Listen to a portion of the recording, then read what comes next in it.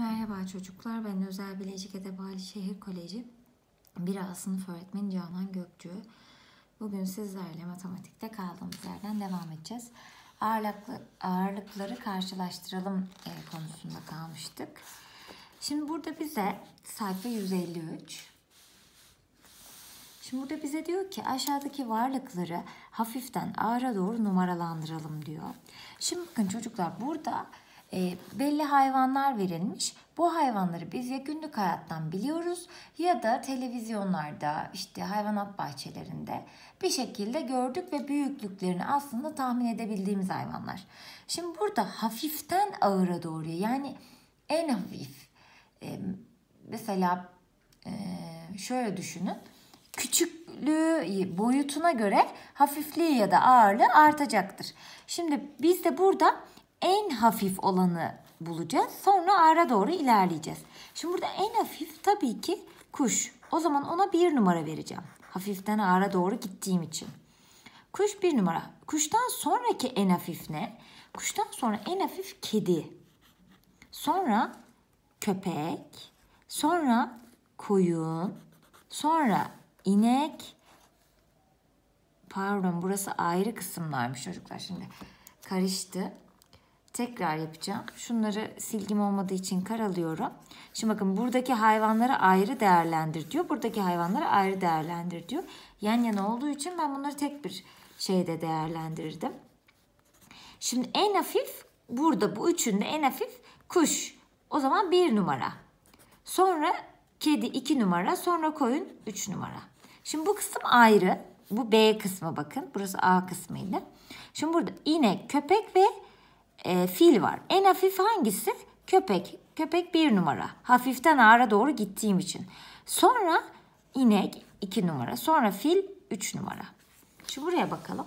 Burada en hafif ne? Tabii ki kelebek. Bir numara. Sonra ördek iki numara. Sonra zürafa üç numara. Burada en hafif civciv bir numara. Sonra horoz iki numara. Sonra at üç numara. Şimdi burada da diyor ki ağırdan hafife doğru numaralandırın diyor. Ağırdan yani en ağır olana bir numara vereceğim. Şimdi yine burada da A kısmı B kısmı olarak ayrılmış. Dikkat edelim. Ağırdan hafife doğru numaralandırıyoruz. Şimdi en ağır burada tabii ki otobüs. O zaman otobüs bir numara. Sonra ağır olan araba iki numara. En son motor üç numara. Buraya bakalım. Burada en ağır olan tabii ki uçak çocuklar. Böyle küçük gibi göründüğüne bakmayın. En ağır uçak. O zaman bir numara. Sonra helikopter iki numara. En sonsa balon üç numara. Burada gözünüzü yanıltmasın. Ee, gerçek hayatta zaten biliyorsunuz hangisinin büyük olduğunu. Şimdi buraya bakalım. Burada bir yük gemisi var. Ağır, en ağır bu. Bir numara. Sonra normal gemi var. 2 numara. En sonda yelkenli var. 3 numara. Buraya bakalım. Burada en ağır hangisi? Şimdi burada en ağır şu tır galiba. 1 numara. Sonra şu küçük tren. 2 numara. En sonda e, traktör. 3 numara.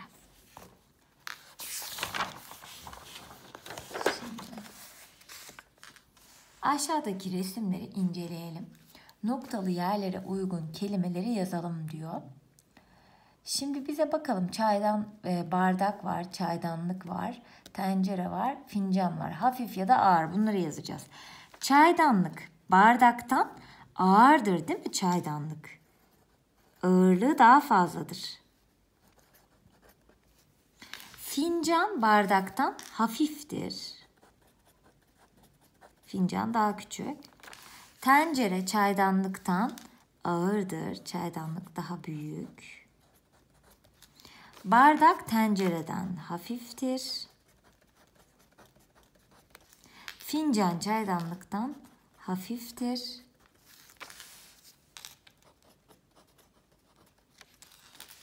Tencere fincandan ağırdır tabii ki. Evet. Yukarıdaki şekle göre hangisi doğrudur? Bakın tatravelliye binmişler. Tatravelli ağır olan taraf ne yapar? Aşağı iner. Hafif olan taraf ne yapar? Yukarı çıkar. Burada inek filden ağır mı? Evet. Bunu çıkarıyorum ben. Bize hangisi doğrudur diyor. İnek filden ağırdır. Doğru.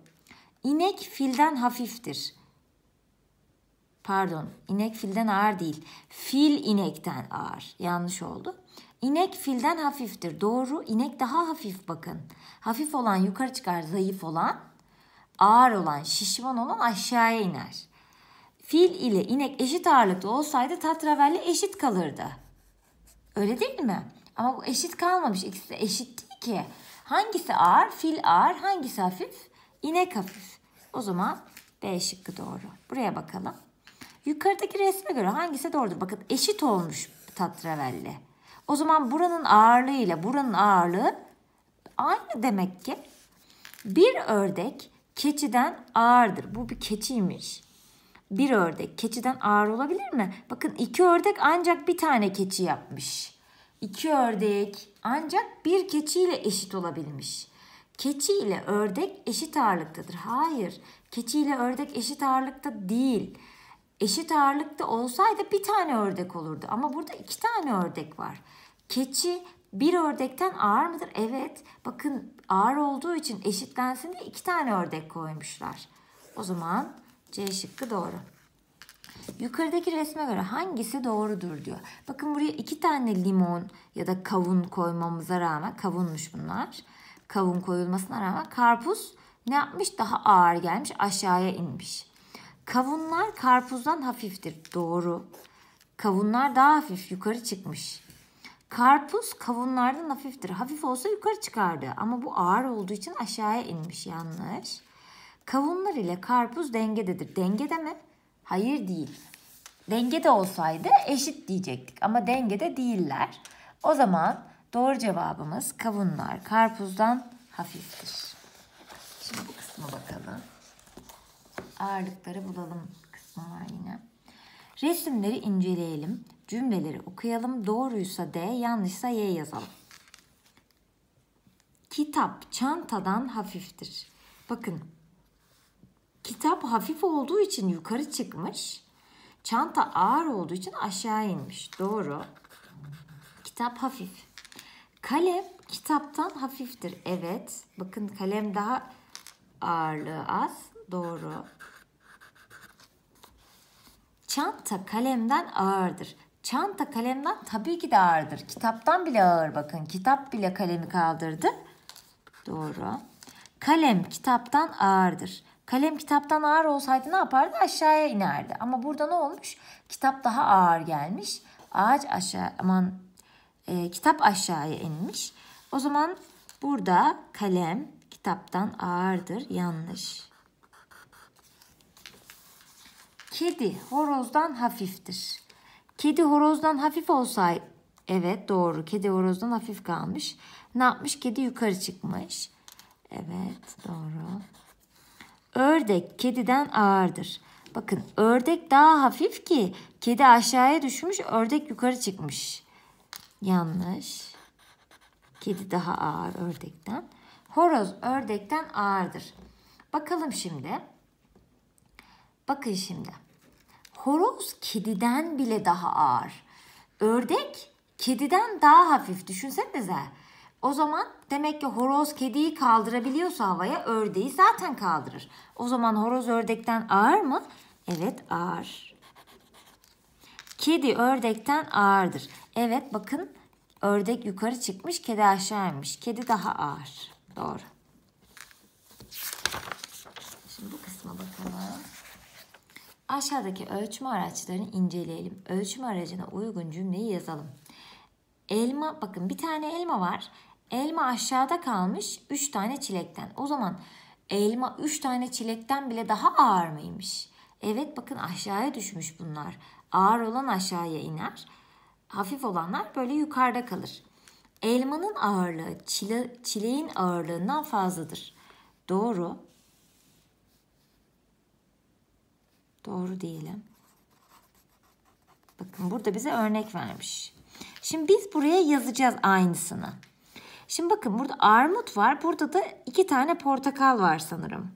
Mandalina diyelim biz bunlara mandalina. Armut bakın armutu burada eşitleyebilmek için, dengede tutabilmek için teraziyi ne yapmışlar? İki tane mandalina koymuşlar. O zaman armut mandalinadan ağır mı? Evet ağır. Burası eşitlensin diye ne yapmışlar? İki tane mandalina koymuşlar. O zaman armutun ağırlığı, armutun ağırlığı mandalinadan mandalinanın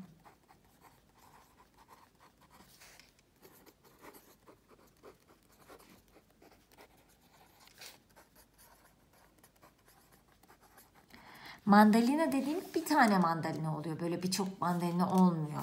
Şimdi burada eşitlemek için ne yapmışlar? İki tane mandalina koymuşlar. O yüzden diyorum armutun ağırlığı mandalinanın ağırlığından fazladır diye. Eşit olsun diye ne yapmışlar? İki tane koymuşlar. Ama bir tane mandalina ne yapardı burada? Eşitleyemezdi. Armut aşağıya düşerdi, mandalina yukarı çıkardı. Şimdi buraya bakalım. Elma yukarı çıkmış, muzlar aşağıda. O zaman elmanın ağırlığı muzlardan nedir? Hafiftir değil mi? Elma daha hafif. O zaman şöyle yazalım mı? Muzların muzların ağırlığı elmadan elmanın ağırlığından diyelim. Elmanın ağırlığından fazladır. Ya da elmanın ağırlığı muzdan hafiftir diyebiliriz değil mi? Şimdi bakalım burada karpuz var ve iki tane ne var? Kavun var.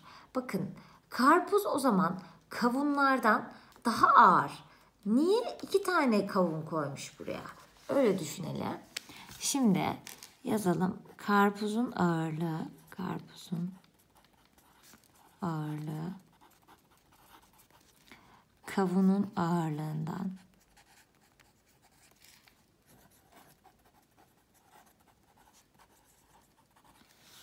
fazladır. Evet, burada yine bir değerlendirme testi var. Zaten son değerlendirme testi. Ee, sayfa 157 ve 158'de ki bu değerlendirme testi artık işlediğimiz e, konuların tamamında. E, burada kitabımız bitiyor çocuklar. Konularımız da bitiyor her şeyiyle. E, ben bu süreçte mümkün olduğunca böyle az az e, şey yapmaya çalıştım sizlere. Zorlamamak adına. Çünkü evden çalışmak e, okulda öğrenmekten çok daha zor. Bunu biliyorum. E, sizlere kolaylık yapmaya çalıştım. Umarım o şekilde kolay olmuştur sizin için. Ee, soru bankasından biliyorsunuz ödev vermedim ekstra. Buradan ödevlendirme yaptım. Bu kitabı tamamladık. Ee, bu ödevi de yapın. Ee, tamamlanmış oluyor.